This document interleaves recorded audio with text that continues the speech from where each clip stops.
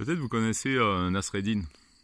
Nasreddin, c'est le héros de, plein de, contes de la tradition soufie, qui est la, branche ésotérique euh, de l'islam, plus spirituelle.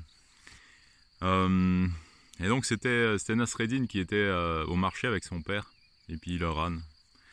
Et donc ils arrivent le premier jour avec Nasreddin qui marchait et son père qui était sur l'âne. Euh, et il y a plein de gens qui les ont regardés et qui ont fait non mais regarde-moi ce, vieux euh, ce vieux bâtard là, il est euh, fait marcher son fils. c'est complètement parce qu'il se la pète et tout. Enfin, ça va pas quoi.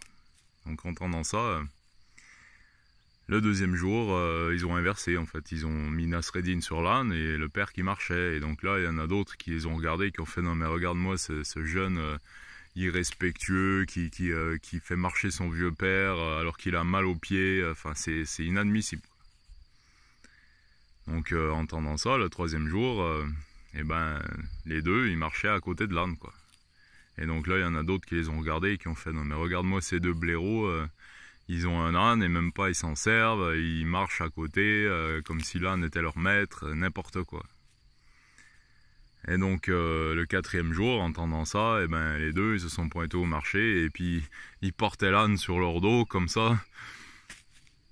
Morale de l'histoire, euh, peu importe ce qu'on fait en fait, peu importe ce qu'on fait, il y a toujours quelqu'un qui va gueuler tout le temps. Le simple fait d'exister, ça fait que ça fait qu'il y a des gens qui sont qui sont pas d'accord, qui sont pas contents, qui vont râler, qui vont trouver quelque chose à redire et, dès qu'on fait quelque chose, ben, c'est comme ça. Euh, du coup, euh, il, faut, il faut agir en fonction de nos valeurs, en fait. Il faut agir en fonction de ce que nous, on croit juste, de notre éthique, de nos buts. Et puis choisir ce qu'on fait de notre âne euh, en notre âme et conscience. Voilà.